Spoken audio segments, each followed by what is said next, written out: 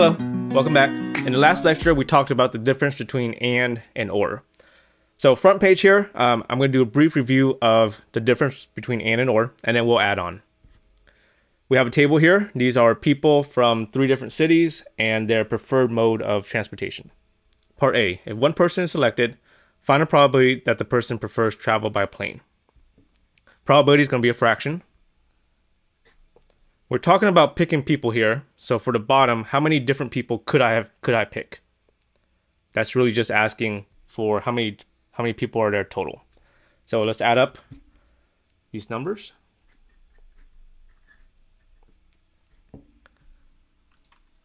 Six plus 15 plus 12 plus 5 plus 9 plus 10 plus 0 plus 6 plus 17. 80. Okay, 80 people total, so that's 80 people that I could pick from. That's the bottom. For the top, I want the people who prefer travel by plane. So how many people prefer travel by plane? These 12, these 10, and these 17. So 12 plus 10 plus 17. 39. Part B. If one person is selected, find a probability that the person is from Los Angeles and prefers travel by plane. Keyword here is the word and. Okay, bottom still to be everybody, which is 80. Up top, I want people from Los Angeles and uh, prefer travel by plane. And the word and, remember, means at the same time. So I want the people who are from LA and at the same time, they like plane. And as a tip, it should just be a single uh, single box or a single number. So LA plane.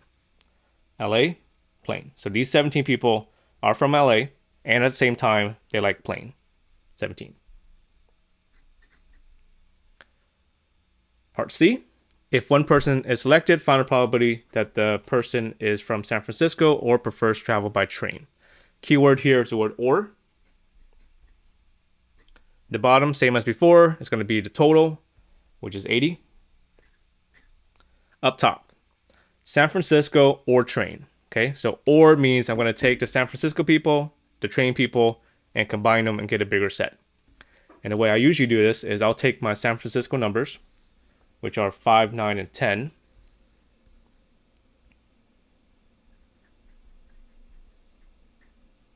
And then I'll add on the train numbers, which is 15. The 9, I don't, I'm not going to write again okay? Because I already got the 9 when I did the San Francisco number, so just the 15 and the 6. Okay, so in addition, plus 15, plus 6. Bottom is still 80. Up top, 5 plus 9 plus 10. Plus 15 plus 6. That's 45. Part D, if one person is selected, Find a probability that the person's favorite mode of transportation is not car. Okay, bottom is going to be everybody, which is 80. Okay, not car. Not car would be all the trains and all the planes. So 1596.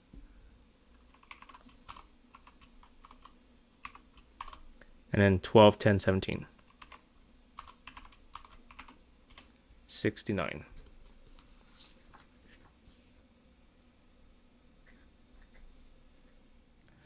Today we're going to talk about three, three new concepts. The first of which is called conditional probability. And this is the symbol for conditional probability. And what it means is it's the probability of A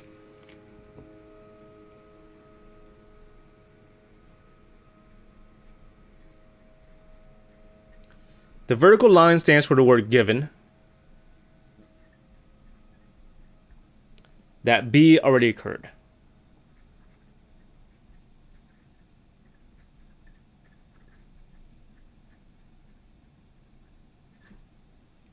Another way you can read this is probability of A given that we have additional information B.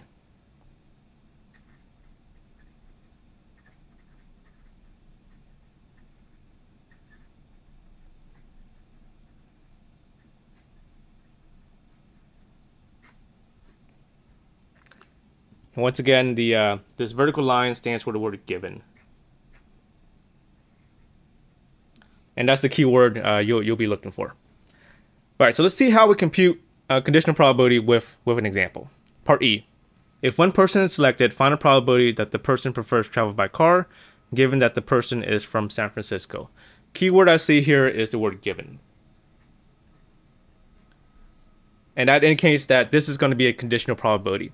For conditional probability questions, I do recommend using the symbol or the correct notation. So what we're looking for here is probability that the person prefers travel by car. So probability of car given, which is the vertical line, that the person is from San Francisco. So car given San Francisco. And the way you compute this, so let me back up a bit. Every question we've looked at so far, the bottom has been everybody, right? The bottom has always been the total. So anytime you see the word given and you're working with conditional probability, the bottom is not going to be the total anymore, okay? So we're looking for probably that the person prefers travel by car, given that we have additional information that the person is from San Francisco.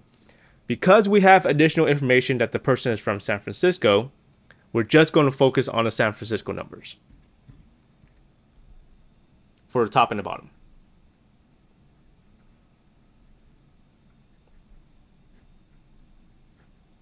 And that's because we know we have additional information that the person is for sure from San Francisco.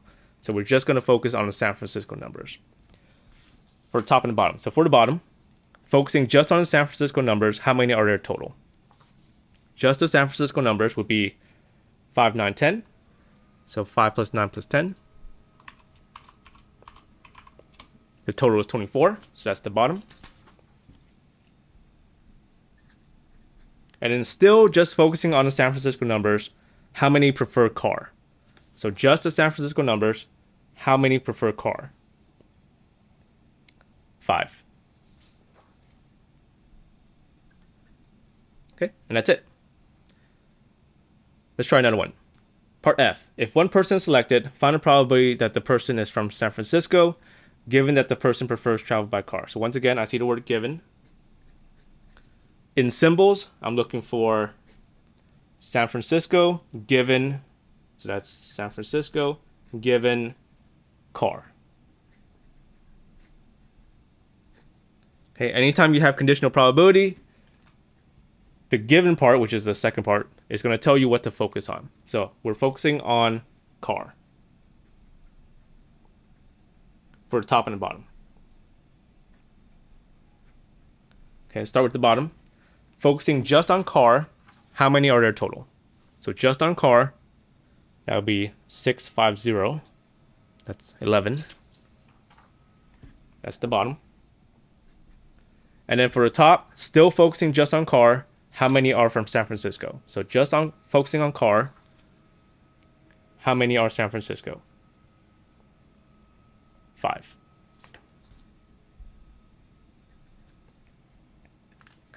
Okay, so the, the point I want to make with part E and F is that car given San Francisco, and then the other way around, San Francisco given car, notice that you get different answers. Okay, so the order here does matter.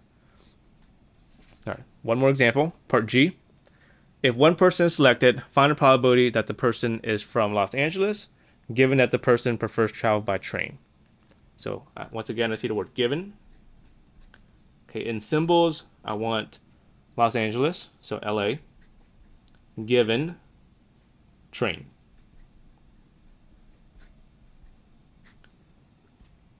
So what numbers should, should I focus on here?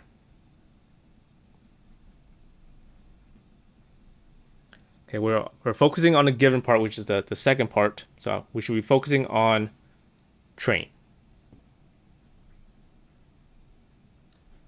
For the top and the bottom.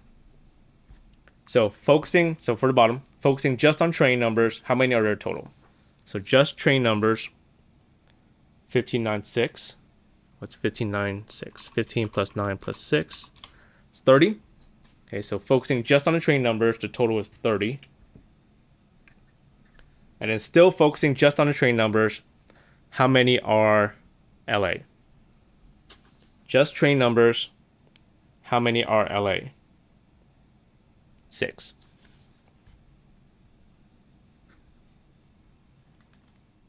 The second new thing we're going to talk about is called the multiplication rule for probabilities. I'm going to write down a formula, but don't worry about uh, this formula too much. So the multiplication rule for probabilities is a formula for calculating probability of, of A. I'm going to write and then B. And the way you calculate probability of A and then B is probability of A, probability of B given A, and then you multiply. That's why it's called the multiplication rule. So this basically says that to find a probability of A and then B, you can kind of do it separately. You do A, and then you do B, given additional information that A already occurred, and then the key point here is that you multiply. So don't worry about the formula too much. I'm going to show you how, how to use this formula in an example. So part H. If two people are randomly, randomly selected, what is the probability that the first person prefers travel by plane and the second person also prefers travel by plane? All right. So up to now, every question we've looked at has said if one person is selected. The new thing for uh, th on this page is that we are selecting two people, two people, three people, three people. So multiple people. And the way we're going to use this multiplication rule is to select two people. One way you can do that is to select one person and then select a second person. And what this is telling me to do is we can do it separately and then just multiply the, the two fractions. All right, so I'm selecting two people, which means I'll need two fractions. And let me write down what the first person is and what the first second person is. First person, I want to be prefers travel by plane. So first person is plane.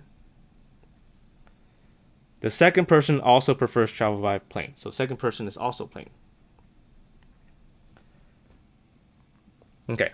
The first fraction is just like a regular uh, probability question that, that we've talked about before.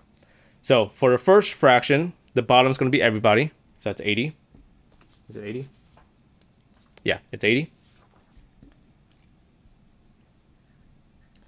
And then for the top, I want how many plane people.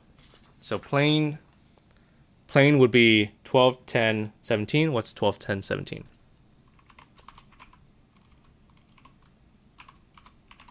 39.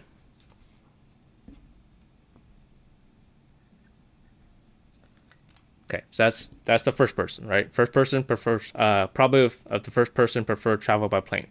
Now for the second person, this is where we have to take into account that the first person was already picked.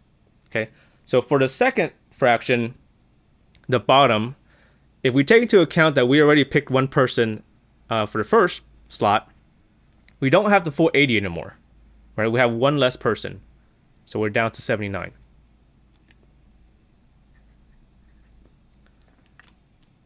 And then for the top, I want the plane people, okay? We also have to take into account that we also already picked the plane person for the first lot. So I don't have the full, um, so 12, 10, 17 is 39. I don't have the full 39 because I already used one plane person for the first lot, which means I'm down by one to 38.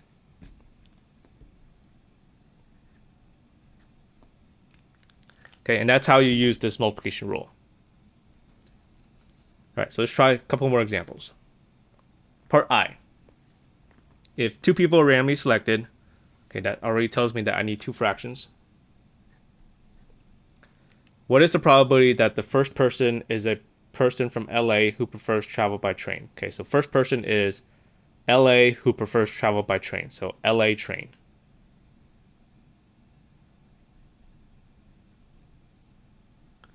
Second person is from San Francisco.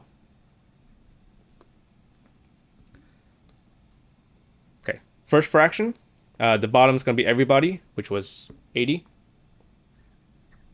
For the top, I want LA train people. So LA train, LA train, 6.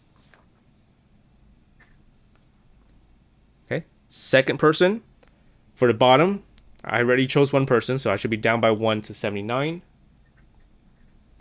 For the top, San Francisco. San Francisco would be 5, 9, 10. 5, 9, 10 is 24, I think. Okay, 24. Now, is it 24 or do we have to reduce it to by 1 like in part H to 23? So in in the part H, the reason why I had to reduce is because I used a plane person in the first slot, right? But here, I haven't used any San Francisco people yet, right? The first slot was LA train. So I don't have to reduce it by one because I haven't used any San Francisco numbers yet. So I should have the full, what do we say it was? 24.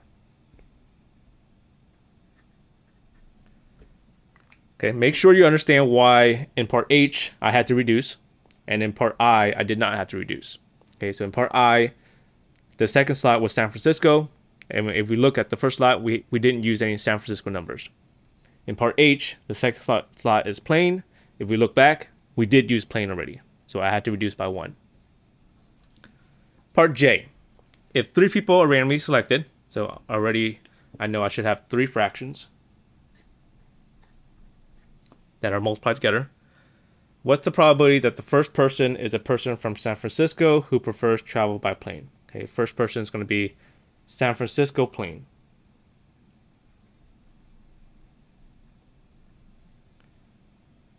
The second person is a person from Los Angeles who prefers travel by plane. So second person is LA plane.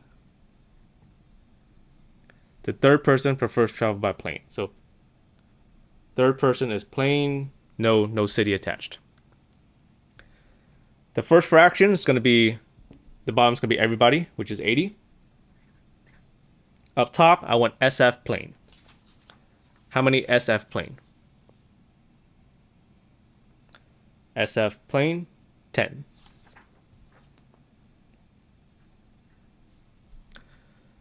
Second fraction, okay, because I chose one person already, the bottom is going to be down by 1 to 79. And let's go ahead and do the, the bottom of the third fraction. Down by 1 again, 78. The uh, second fraction here, I want LA plane. So LA plane. LA plane would be 6. Now the question is, is it 6 or do I have to reduce by 1? So LA plane, if we look back to the first lot, did I use LA plane yet? I have not, right? I used SF plane, but I haven't used exactly LA plane yet. So I should have the full 6. Third fraction is just plane, no city attached. So plane will be 12, 10, 17. So 12, 10, 17.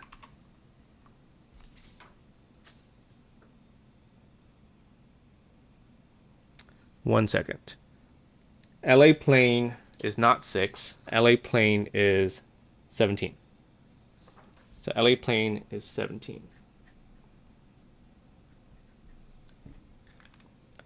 Third fraction, plane. So plane, no city would be all the planes. So 12, 10, 17. So 12 plus 10 plus 17. That's 39. Okay, 39. Or do we have to reduce? So have we used plane numbers? We did, right? I used a plane here and I used a plane here. So we actually used two planes already, which means I should be down by two. So the total was 39. So down by 2, this would be 37. Okay, so make sure you understand why it's 37 and not 39.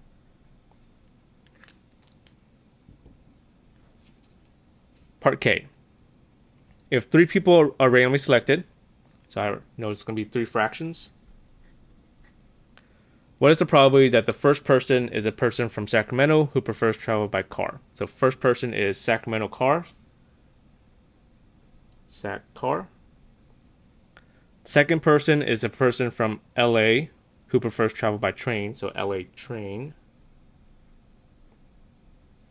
Third person prefers travel by car. So car with no specific city. First fraction, bottom is going to be everybody. So that's going to be 80. Sac car. Sacramento car. Sacramento car, 6.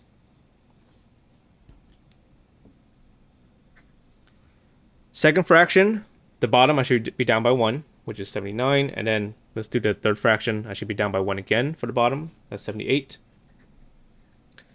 Second fraction, LA train. LA train would be LA train 6.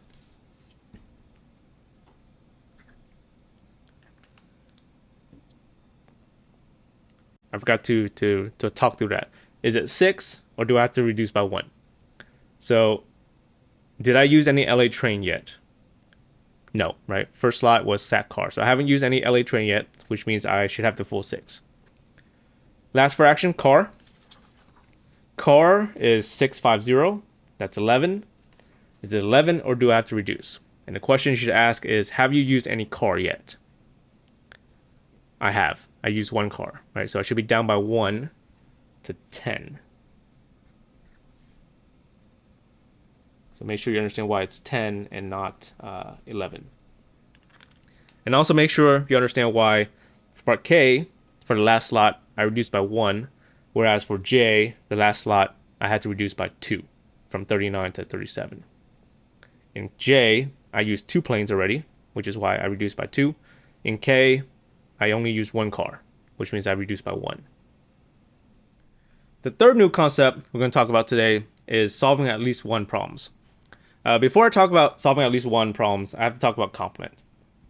Complements we talked about already when we talked about set theory. So in set theory, the complement of a set are all the things that are not in that set. And for probability, it's going to be something similar.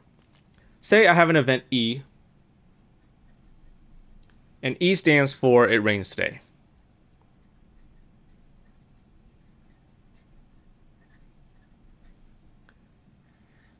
What would be the complement of E?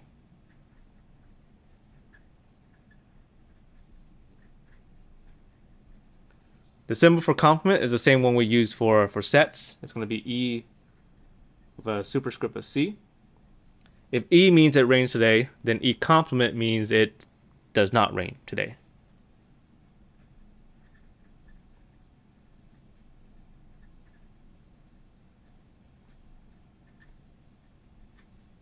And now let's talk about some probability. Say I know that the probability of it raining today is 0.2. And that's as, as a decimal. If you uh, prefer percents, uh, 0.2 as a percent would be move the decimal 2 to the right. It'd be 20%. So if you know that the probability of it raining today is 20%, what's the probability of it not raining?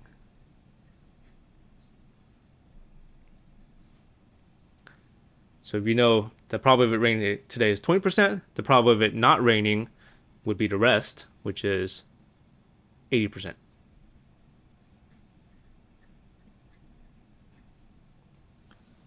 And what math did we do to get this 80%?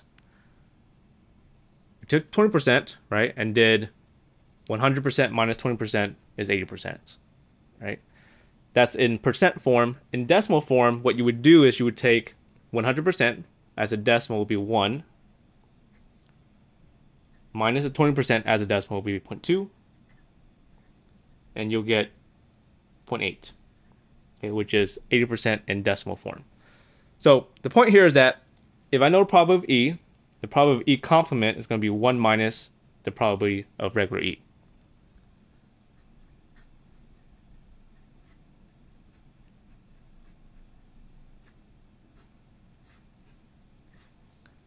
Okay, so we'll need that idea. The probability of the complement is 1 minus the probability of regular E. And it also works the other way, other way around. The probability of regular E is 1 minus the probability of the complement. All right, at least one problems. Let's actually read part L. If three people are randomly selected, find the probability of, of at least one person that at least one person is from Sacramento.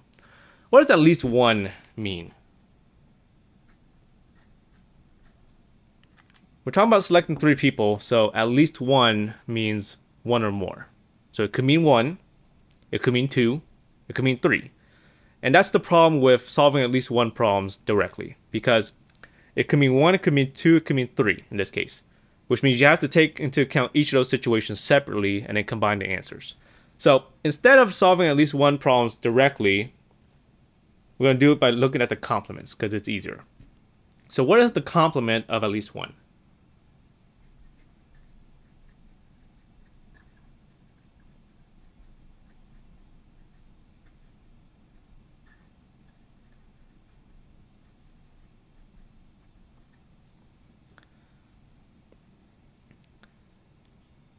Okay, so let me uh, use an example to, to help you figure out what the complement is. I'm going to write down some numbers. 0, 1, 2, 3, 4, 5, 6. Which of, which of those numbers are at least 1? At least 1 means 1 or more. So 1, 2, 3, 4, 5, 6, and so on. All of those numbers are at least 1.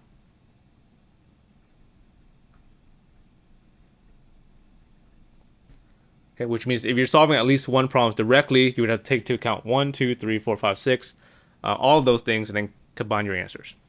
What is the complement? What number is not underlined in red? Zero, okay? So the complement of at least one is zero. I'm going to write none.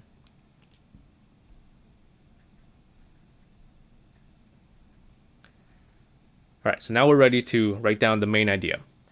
So the main idea here is that to find a probability of at least one,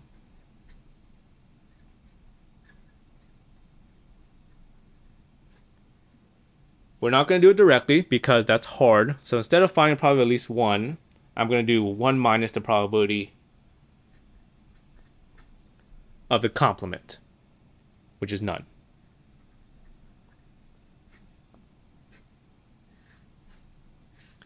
And this is the idea we're going to use on any problem that says at least one. All right, so let's try an example. Part L. If three people are randomly selected, find a probability that at least one person is from Sacramento. So keyword is at least one. I'm looking for at least one SAC.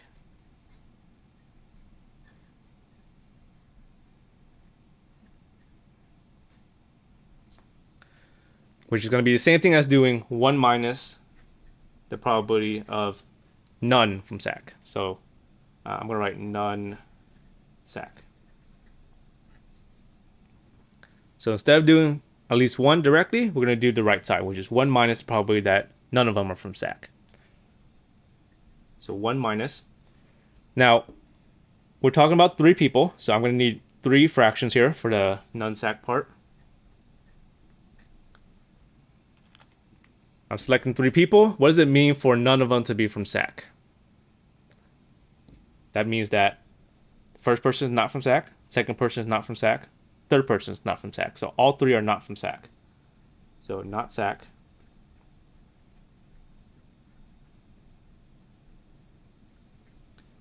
And then you'll just find the fractions for not SAC, not SAC, not SAC. So once again, three people, none of them from SAC means that not SAC, not SAC, not SAC. All right, so first fraction, the bottoms should be everybody. Everybody uh, was what? Everybody's 80. And then let's actually fill the bottom for the other fraction. So 80, and then the second person, because we chose one person already, that's going to reduce down to 79, and then 78. Okay. First fraction top, I want not sack. So how many not sack? Not sack would be 5, 9, 10.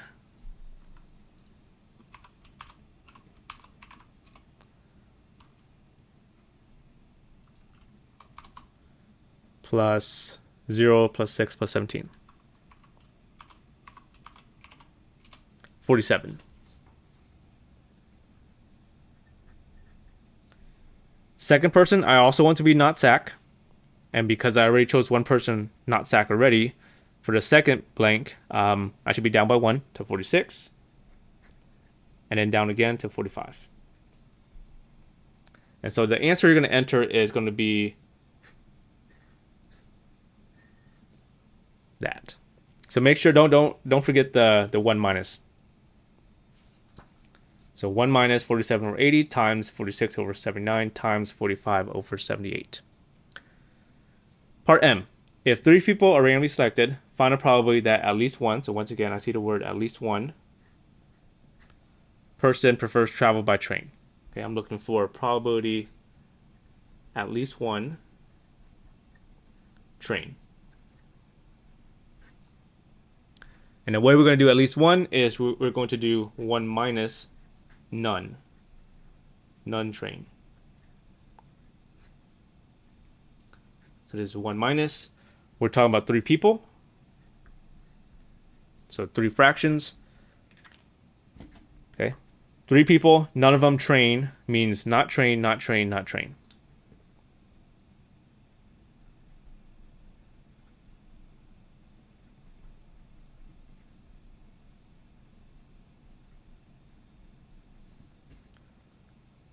Uh, first fraction, the bottom is going to be everybody, which was 80.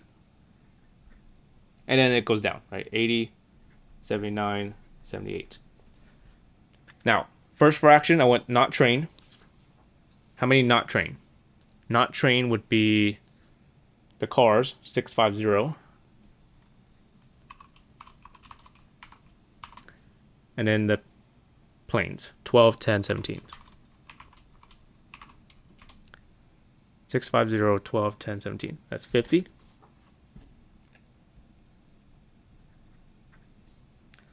Second fraction, I also want to be not train, which means I have to reduce by 1 because I used not train already. So we're down to 49 and then 48.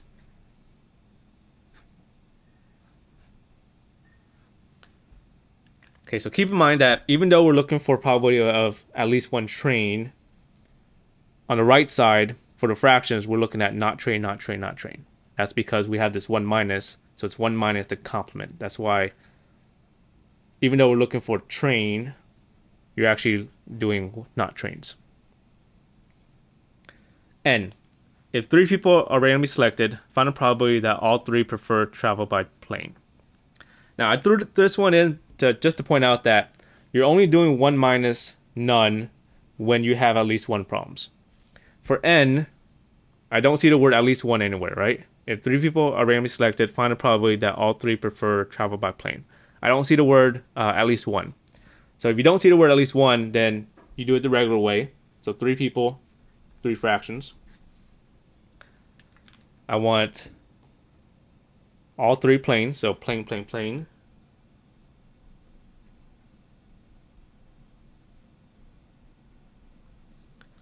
And you, you do this the same way you did it on the previous page. So the bottom for the first fraction will be everybody, which is 80. Um, it's going to go down to 79, 78. First fraction, I want plane. Plane is 12, 10, 17. Pretty sure that's 39. And then another plane, so that means I should be down by 1 to 38. And then again, another plane to 37.